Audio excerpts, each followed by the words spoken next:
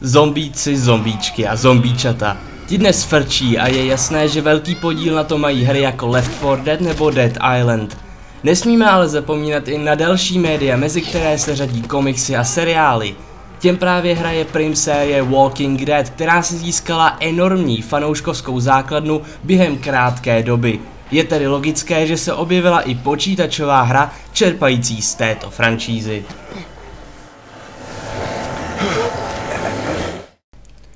Svůj námět čerpá především z komiksu a je proto i tak stylizovaná. Nečekejte ale, že si znovu proběhnete příběhem Ricka Grimese a jeho rodiny. Kde pak? Do rukou se vám dostane nová postava jménem Lee Everett, jehož osud budete mít doslova v hrsti. Tato adventura si totiž zakládá především na volnosti v chování. Je jen na hráči, zda se rozhodne hrát za hodného nebo zlého chlápka. Yeah, Lee, what's gotten into you? He just had a start. He could use some goddamn manners. Mark is upstairs with his fucking legs cut off. You're eating him. Lee totiž nemá úplně čistý štít a vy se musíte rozhodnout. Zda budete věřit všem těm zkresleným informacím, které se o něm povídají, nebo zkusíte jeho jméno očistit alespoň po apokalypse. Do té se dostanete po hlavě, nebo spíš po autě, či jak to nazvat. Automobil odvážející Leeho na policejní stanici se totiž připlete do ošklivé nehody, která vyústí k náhlému probuzení do světa, ve kterém hordy zombíků začínají převyšovat populaci normálních lidí.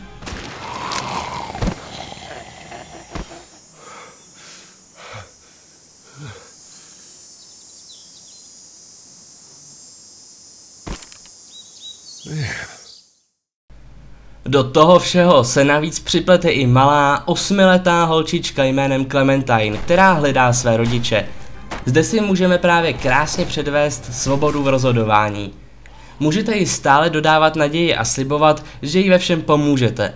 Nebo můžete být realista, který přestal věřit ve veškeré dobro na světě a postavíte ji před tvrdou realitu, ve které velmi pravděpodobně její rodiče už chodí po ulicích a papají mozky jejich někdejších přátel. Ať tak či tak, holčička s vámi zůstane a vy spolu s ní prožíváte svůj příběh. V tom potkáte velkou spoustu přeživších, kteří se ale střídají jako na běžícím páse s ozubenými drtícími koly na konci. Je skvělé, ale že každá postava má svou unikátní a dokonce i dobře uvěřitelnou osobnost, která se vám buď zalíbí nebo ji budete od srdce nenávidět. Navíc, jejich názor na vás se může změnit díky vašim dobrým či špatným rozhodnutím. Jednou někomu ulejete trochu jídla navíc a někdy se rozhodnete zachránit spíše hezkou holku než chytrého kluka. Nad tím vším máte kontrolu vy, ale nezapomeňte, že na rozhodnutí máte jen velmi omezený čas, který vytváří skvělý dojem nutnosti impulzivního jednání, které o vás leco vypoví.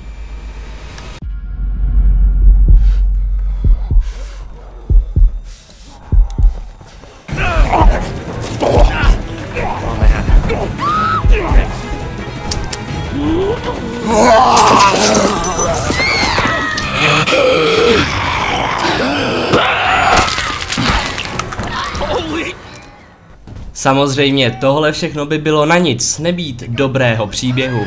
Už jsem změnil spoustu umírajících postav. To by se mohlo jevit zpočátku jako negativum, které vyplývá z nedostatečné propracovanosti, ale je tomu spíše naopak. Příběh využívá skvělé atmosféry a podporuje ji svou hutností a ku podivu v některých směrech i realističností.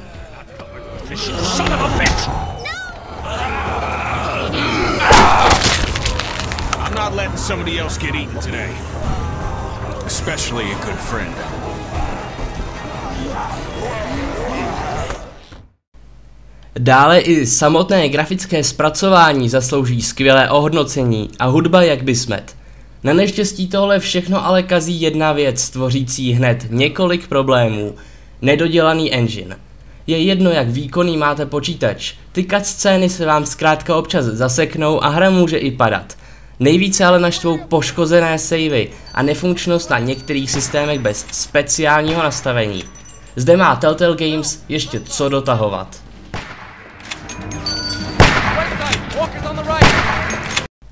Zmíním ještě jednu poněkud kontroverzní věc a ku podivu se nebude jednat o násilí, které k takovéto hře patří snad ještě více než k jakému FPSku.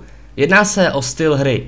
Fanouškům Walking Dead se samozřejmě zalíbí většina věcí s jejich oblíbenou tématikou, ale co ti, kteří moc neholdují adventurnímu žánru a rádi se hry hodně zúčastňují? Osobně bych totiž hru označil spíše za velmi interaktivní film. Adventurní prvky jsou zde totiž minimální a kombinování předmětů spolu s pixel huntingem určitě nečekejte. Akce se zde vymezuje na pár scén bojů se zombíky.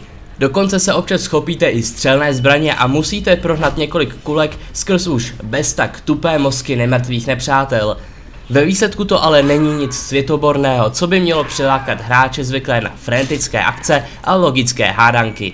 Na druhou stranu ale musíme uznat, že zavděčit se všem možné není a hra se většině fanouškům série jistě líbit bude. Je třeba si ale také uvědomit prodejní čísla, která jsou opravdu vysoká a o mnohem vypovídají. Také vezměme v potaz to, že i když hru čítající 5 epizod dohrajete za 10 hodin, nic vám nebrání spustit ji znovu a zkusit si ji zahrát úplně odlišným stylem. Ve výsledku bych tedy hru ohodnotil osmičkou. U hodnocení jsem byl ale trošku na vážkách, především kvůli hardwareovým problémům, které ale snad vývojáři opraví. Rozhodnou se mi ale pomohla novinka, která hlásá druhou sérii této epizodické hry. Pokud se bude totiž vše jen zlepšovat, tak proč neuznat už tento úspěch hry?